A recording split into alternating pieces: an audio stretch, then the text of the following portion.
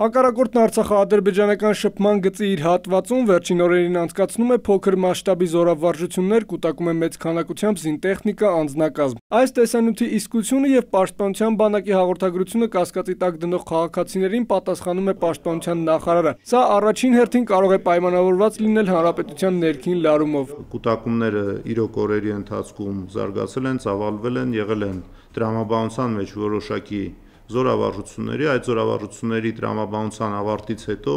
ինչպես նաև այդ վարժանքների հաճախակիության ավելացման համատեքստում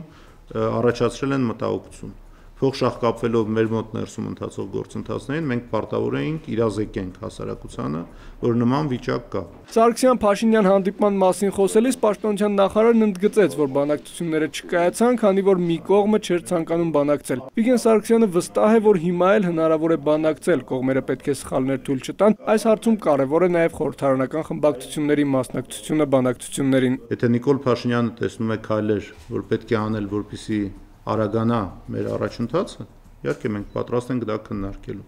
Եթե կան կոնկրետ ոլորտներ, որտեղ մենք ավելի լավ լուծումներ կարող են գտնել։ Իհարկե մենք պատրաստ ենք դրանք քննարկելու։ Վիգեն Սարգսյանը խոսեց նաև Նիկոլ Փաշինյանի առաջարկած օրակարգի մասին, որով падգամավորը մեկ հարց է բարձրացնում։ Պաշտպանության նախարարի համոզմամբ այդ շարժման կազմակերպիչները կարող են նաև բանակցությունների հնարավոր այլ սցենարներ ունենալ, որոնք կարելի է քննարկել իշխանությունների հետ։ Ես չեմ կարծում, որ Նիկոլ Փաշինյանը չգիտի հանգուցալուծման տարբեր հնարավորություններ, եղանակներ։ Նա, որ ինքը ի ցույց է դնում միայն մեկը, չի նշանակում, որ նա միայն այդ մեկը նկատի ունի իր մտքում։ Կարծում եմ կարևոր է, որ նա կարողանա ազդակներ ուղարկել երևացող, բայց ավելի ցանկալի է չերևացող։